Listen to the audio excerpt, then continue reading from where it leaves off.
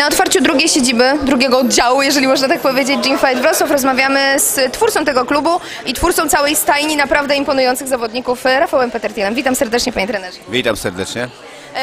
Zanim przejdę do zawodników, o których mam rzeczywiście całą masę pytań, chciałabym zapytać, e, jak się pan czuje otwierając kolejną siedzibę? Wiem, że jeszcze nie do końca w komplecie, tak, bo jeszcze jest sala, którą trzeba przygotować, no ale już e, widok jest imponujący. Tak, no, fajnie już cieszę się, że ruszyliśmy w końcu z kopyta, że już się ta trudniejsza, trudniejsza część już jest za nami, ta druga połówka to już jest tylko kwestia czasu, we wrześniu ją oddamy i wtedy myślę, że dopiero klub będzie robił imponujące wrażenie, ring na środku, będziemy mogli robić drobne gale, zapraszać inne kluby na sparingi.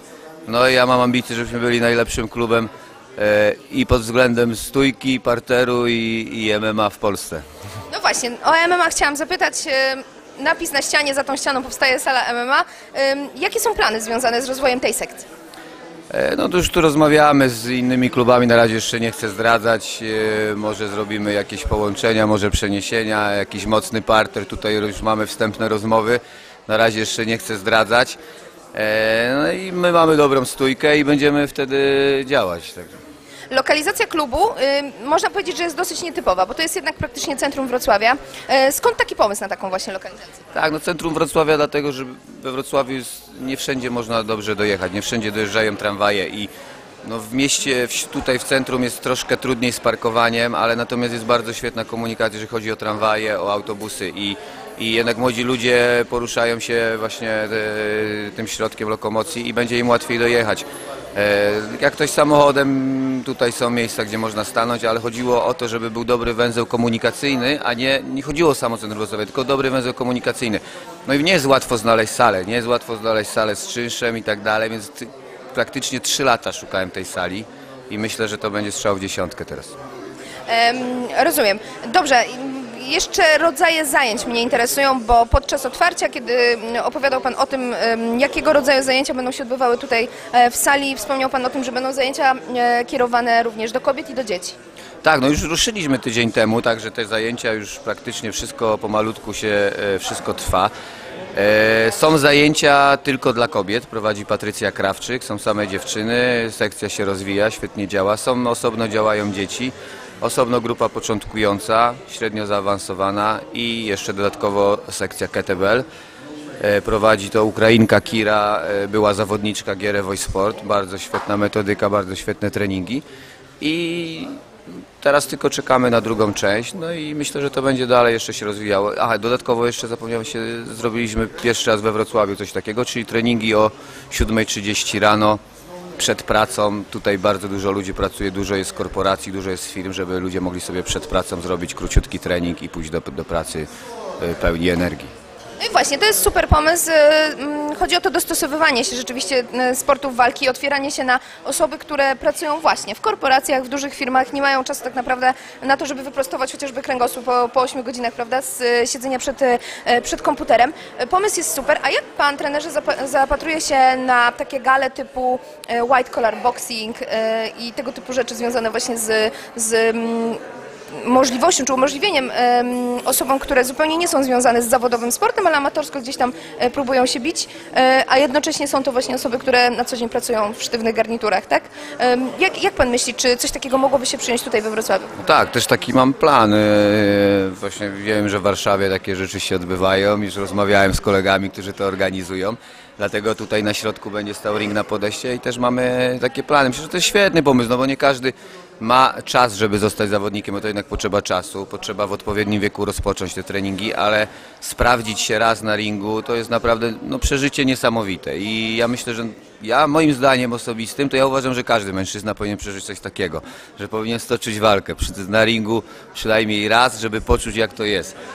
E, I to jest świetne uczucie, no i nie, nie można tego zostawiać tylko, żeby przeżywali to młodzi chłopcy, którzy są pełni energii i siły i, i mogą sobie pozwolić na trenowanie. No, trzeba to udostępnić, żeby każdy mógł przeżyć to wspaniałe uczucie, ten wspaniały stres, e, ból, piękne wrażenia i niech sobie przeżywają też ludzie, którzy pracują w garniturach. E, Grupa zawodnicza się panu rozrasta. Ja chciałabym zapytać o, o mm, kilkoro zawodników właśnie. Chciałabym zacząć przede wszystkim od Patrycji Krawczyk. E, Dziś mamy 12 maja. E, Patrycja powinna bić się w walce wieczoru Gal- Gali Ladies Fight Night 9, która przyjechała tutaj specjalnie do Wrocławia po to, żeby celebrować również zawodniczki z Wrocławia, kickbokserki. No i niestety nie zobaczymy Patrycji ze względu na kontuzję. Jak to wyglądało z Pana strony, kiedy, kiedy dowiedzieliście się o tym, że, że Patrycja, czy występ Patrycji może być zagrożony? No wiadomo, no kontuzja, ja nic na to nie poradzę, no jest mi smutno tak jak jest i smutno Patrycji. E, no wiadomo, zdrowie jest ważniejsze. Ja w życiu bym nie, nie jestem takim trenerem, który by zawodnika zmuszał lub kazał lub namawiał, skoro lekarze powiedzieli, że tak jest. Ja jestem po to, żeby zawodnikom pomagać, a nie żeby im szkodzić, także nie zawalczy Patrycja, jakoś sobie z tym poradzimy.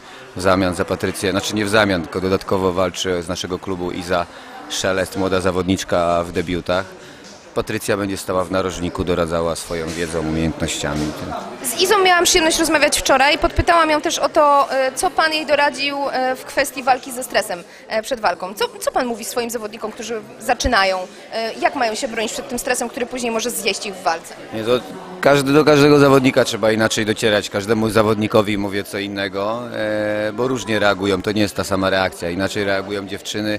Moi zawodnicy, chłopcy też różnie reagują. Jednych trzeba pobudzać, drugich trzeba e, wyhamowywać. To troszkę moja tajemnica, też nie będę mówił co mówię, ale to nie, nie ma jednej recepty. Nie. Każdemu co innego mówię. Czy możemy się spodziewać powrotu do e, zawodowstwa Pauliny Bieć? E, Bo wiem, że Paulina jest po dosyć mocnej kontuzji. E, Próbowałam tutaj podpytać, jak, jak wygląda jej sytuacja, ale no, na razie nie mam dobrych wieści. No na razie noga jeszcze, jeszcze boli, kontuzja nie jest wyleczona. Zobaczymy, jeżeli ten ból minie, to będziemy wtedy się zastanawiać. Na razie cały czas trwa rehabilitacja i, i, i Paulina się regeneruje także. A rwie się do tego, żeby wracać, czy raczej jest taka ostrożna? No myślę, że jeżeli chodziłoby o walki zawodowe, to jeszcze by, chciała powalczyć i mogłaby powalczyć. No, natomiast walki amatorskie no, osiągnęła już wszystko, myślę, że już zmęczona jest tym, nie? Tak. E, Dobrze, no i na koniec Max Bratkowicz. E, 1 czerwca będzie wali, e, bronił swojego e, pasa w e, DSF Kickboxing Challenge. E, Mistrz, młody, przyszłościowy, e, od trzech lat e, w zawodowstwie i robi coraz większe wrażenie, coraz lepiej się rozwija. Myśli pan, że to już jest szczyt, czy Max cały czas się uczy? Nie, no to nie jest szczyt, Max się dopiero rozwija. On jest młody zawodnik, y, który naprawdę rozpoczął y, bardzo, bardzo mocno i to jest, y, kariera jest przed nim. On z, z roku na rok, znaczy nawet nie z roku, z miesiąca na miesiąc robi postępy. E, No teraz będzie miał rewanż, myślę, że ten sobie poradzi, bo naprawdę zrobił bardzo duży progres, jeżeli chodzi o wydolność, o technikę. E, Ja bardzo duże nadzieje w nim pokładam. Myślę, że to będzie jeden z lepszych polskich zawodników, e, jeżeli będzie tak dalej szło. No i dodatkowo Michał Ronkiewicz też debiutuje z naszego klubu na DSF-ie, na tej samej gali co Max, także razem się przygotowują. To jeszcze, jeszcze jest mi trochę łatwiej jako trenerowi ich dwóch przygotowywać. No jest super. E, Trenerze, czego możemy życzyć w takim razie panu i klubowi?